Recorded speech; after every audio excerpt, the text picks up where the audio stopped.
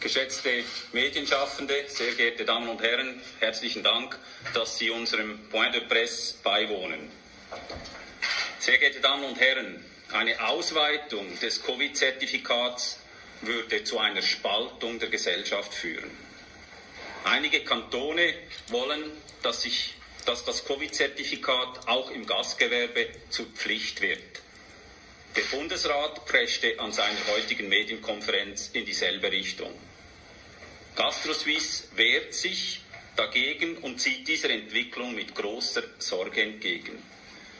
Im Übrigen wäre, eine, äh, wäre ein solcher Entscheid auch verfassungswidrig. Eine Zertifikatspflicht wäre diskriminierend und würde die Gesellschaft eindeutig spalten.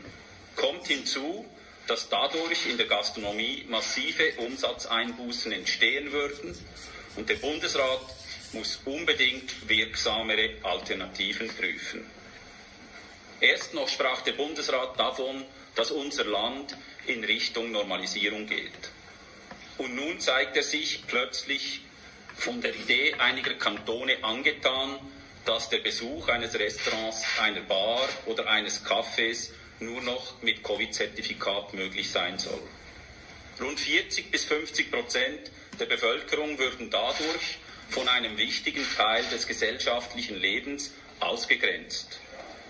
Der Bundesrat und einige Kantone scheinen nicht zu berücksichtigen, dass der Besuch eines Restaurants für ganz viele Leute alltäglich ist.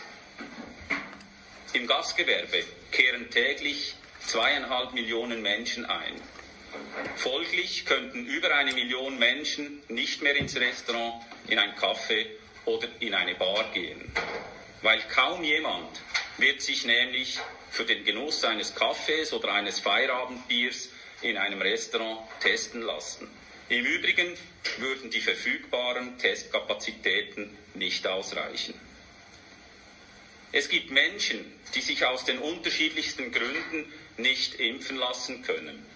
Spekulationen darüber, diese jetzt vom gesellschaftlichen Leben auszuschließen, ihnen den Zugang zu gastgewerblichen Betrieben, in denen auch viele Familienfeiern zu allen Anlässen stattfinden, zu verwehren, birgt sozialpolitischen Sprengstoff.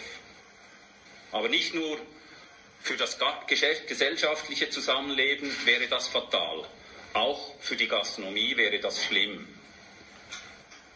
Viele Betriebe würden neben den geltenden Kapazitätsbeschränkungen zusätzlich massive Umsatzeinbußen erleiden, denn eine solche Maßnahme bedeutet bei der noch tiefen Impfquote eine massive Senkung des Gästepotenzials, was einer Teilschließung bzw. einer zusätzlichen Kapazitätsbeschränkung gleichkommt.